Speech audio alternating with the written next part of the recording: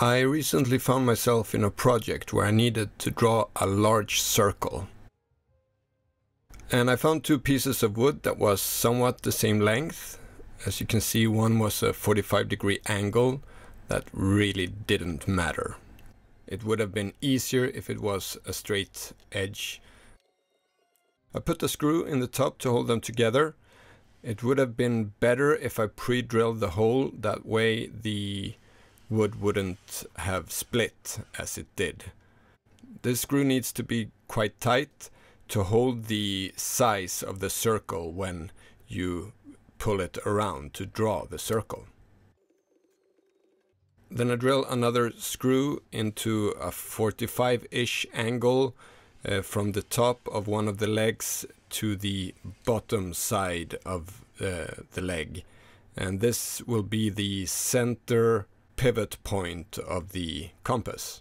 Again, pre-drilling might have kept it from splitting. Now in the other leg, drill a hole that is a little bit bigger than the pen you want to use.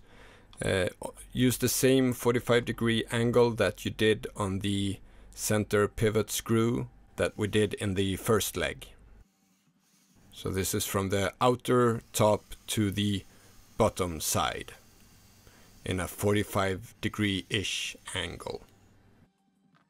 Place the pen in the hole and make sure the tip is at the same height as the screw tip on the center pivot screw. Carefully drill a screw from the inside of the leg into the pen just enough to keep it in place. Too much and you will break the pen uh, and uh, too little it won't keep the pen in place. You might need to adjust the center pivot screw so it is the same length and that it depending on how big circle you make that both the pen and the pivot screw has a good angle down into the drawing surface.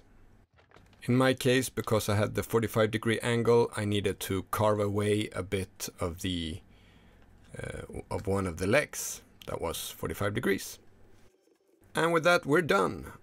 Now clean the surface and you can draw a really large circle.